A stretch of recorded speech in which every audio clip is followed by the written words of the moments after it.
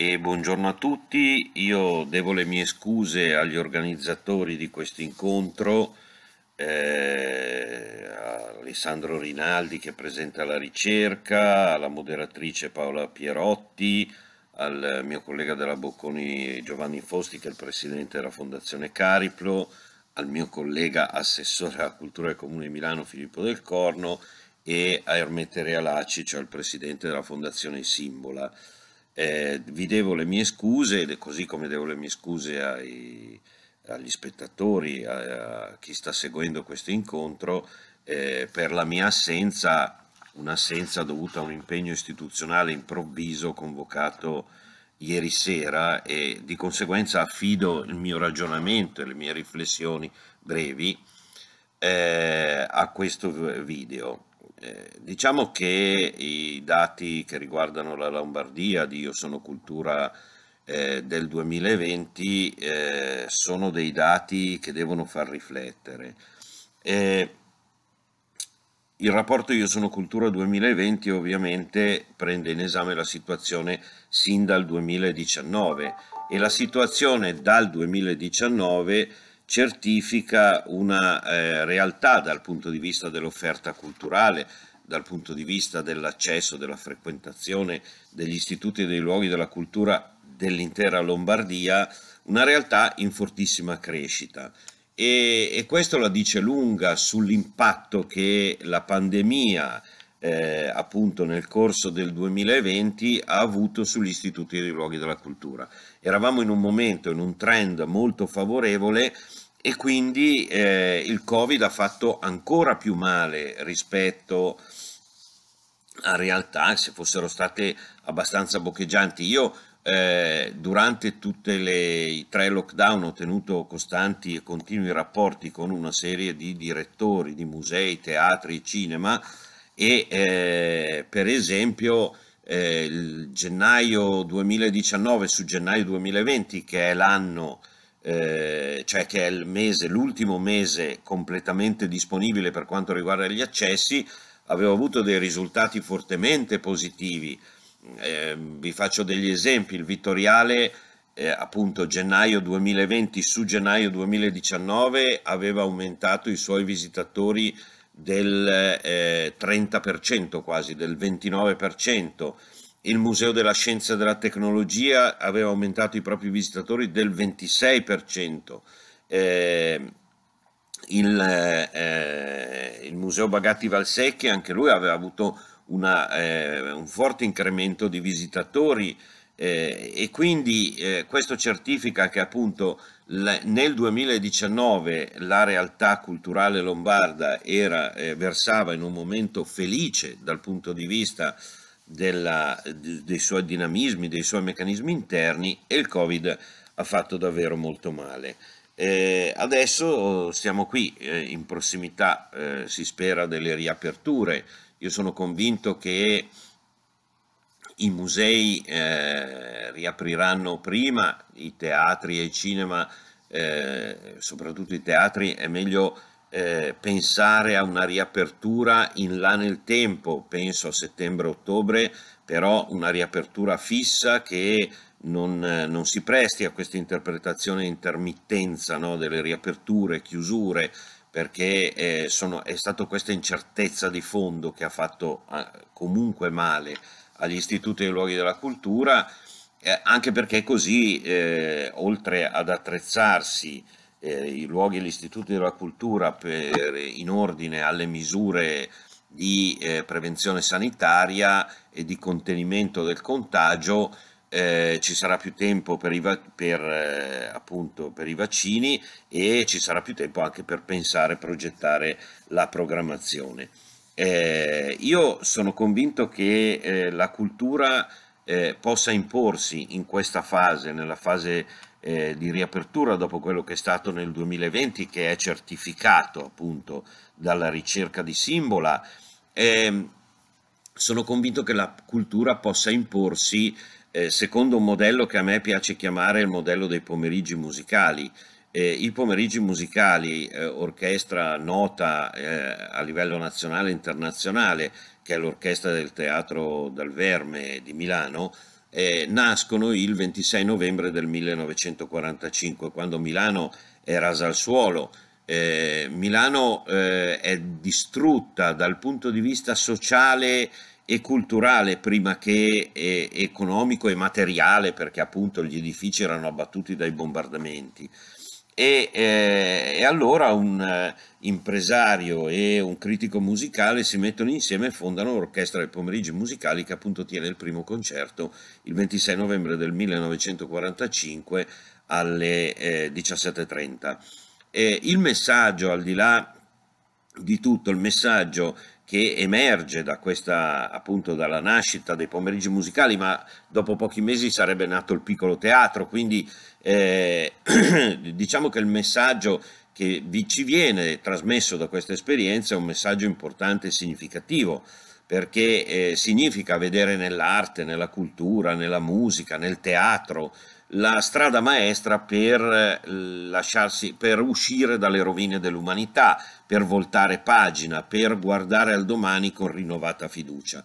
Ecco, poiché ci troviamo di fronte all'indomani o comunque nella fase finale della eh, crisi pandemica eh, sicuramente più eh, grave dell'ultimo secolo, eh, considerando la spagnola del, della, della fine della prima guerra mondiale, Ehm, è evidente che la cultura si può imporre come eh, lo strumento privilegiato per eh, ehm, appunto rilanciare eh, la, la, coesione sociale, rilanciare, ricostruire la socialità. In fondo noi abbiamo vissuto per tre volte consecutive eh, dei momenti in cui si sono innescati dei meccanismi disgregativi della socialità, perché le persone sono state a casa eh, da sole, perché appunto c'era il lockdown, quindi non si poteva uscire, non si poteva frequentare non solo i luoghi della cultura, ma penso anche ai luoghi della ristorazione, ai luoghi di socialità e quindi eh,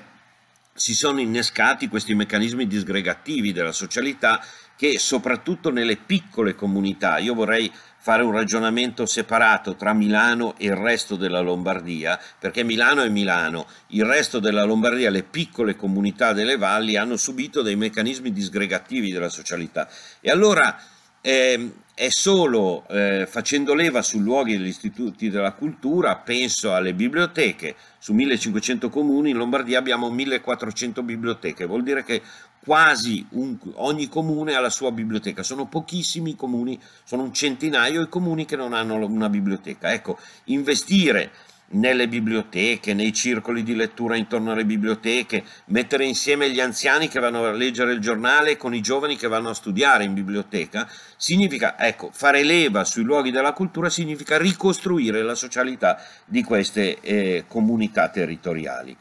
Bisogna riportare le persone e emerge bene dai dati del rapporto Io sono cultura eh, 2020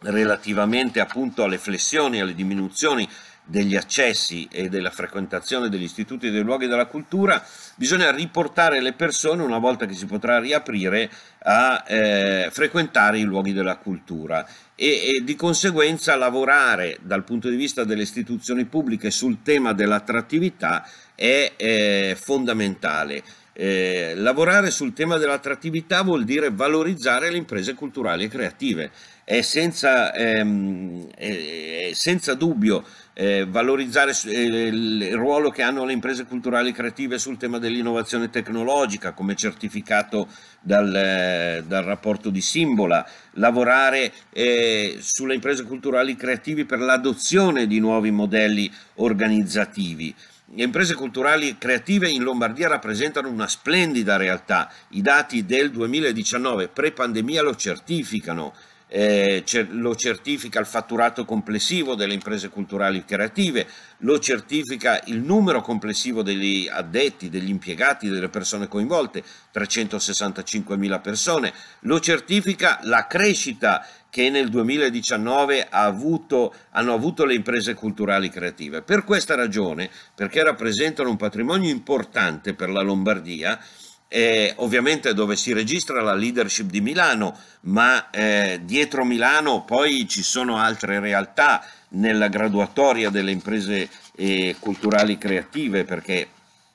che, sono, appunto, che è pubblicata da Simbola. Eh, Milano spicca ovviamente, ma anche altre realtà eh, sono particolarmente dinamiche da questo punto di vista perché eh, ci troviamo di fronte a, appunto a Monza Brianza, eh, Como, poi c'è tutta una fascia Bergamo, Lodi, Mantova, Lecco, Varese fino a Brescia che mh, diciamo eh, ha, ha, avuto un valore aggiunto nel 2019 dal 5,3% al 4,3% e rappresentano appunto una realtà importante e significativa proprio per questa ragione, perché la, le imprese culturali creative nell'offerta culturale lombarda sono importanti eh, nel 2020, pur con le ristrettezze del bilancio, perché la, la, larga parte delle risorse è andato a coprire le esigenze del sistema sanitario, abbiamo adottato almeno tre provvedimenti, e eh, con questo volevo poi concludere, eh, tre provvedimenti rivolti solo alle imprese culturali creative. Innanzitutto abbiamo fatto un bando inserito nel bando Arche eh, pubblicato nello scorso mese di agosto, nell'agosto 2020, eh, in cui abbiamo messo 2 milioni e mezzo di euro sul bando Arche per promuovere le start-up delle imprese eh, culturali e creative in Lombardia, proprio perché siamo convinti che il valore aggiunto in termini di innovazione, di dinamismo e dell'adozione di nuovi modelli organizzativi delle imprese culturali creative nel settore appunto degli istituti e dei luoghi della cultura sia fondamentale. Quindi abbiamo messo 2 milioni e mezzo nel bando Arche pubblicato ad agosto dalla DG Sviluppo Economico. Abbiamo fatto un bando di cui si è appena conclusa la prima fase in collaborazione con Fondazione Cariplo e Union Camere che è Innova Musei. Innova Musei è eh, un bando importante perché eh, noi chiediamo alle imprese culturali creative, alla realtà delle imprese culturali creative di adottare dei eh, musei per svecchiare l'offerta eh, l'offerta museale, per renderla più dinamica, per favorire l'adozione delle nuove tecnologie, nuovi modelli organizzativi dentro i musei che in Lombardia sono tanti perché sono circa 600, rappresentano una fetta importante dell'offerta culturale regionale e tuttavia in, ehm, in, come dire, versano in uno stato eh, di eh, forte tradizione dal punto di vista della concezione dei, eh, della musealizzazione, della,